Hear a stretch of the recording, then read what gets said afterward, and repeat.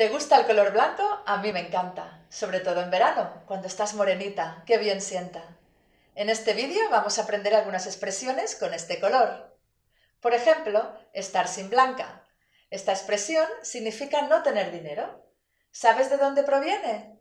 Te invito a investigarlo, pero te voy a dar una pista. Su origen lo encontramos en el siglo XVI.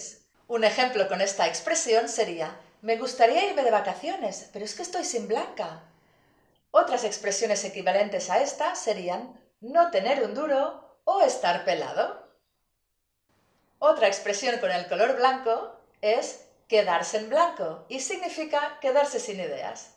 Te puedes quedar en blanco en medio de un examen, de una presentación o incluso ante una pregunta que no te esperabas. Yo una vez me quedé en blanco en medio de un examen. No me olvidaré en la vida. Veamos otra expresión más con el blanco. ¿Sabes qué significa pasar la noche en blanco? Pues no dormir en toda la noche mirando al techo, que normalmente es blanco. Podemos usar esta expresión cuando estamos preocupados por algo y esa preocupación no nos deja dormir. Por ejemplo, me he pasado toda la noche en blanco por el mensaje que recibí anoche de Juan. Está en el hospital, espero que no sea nada.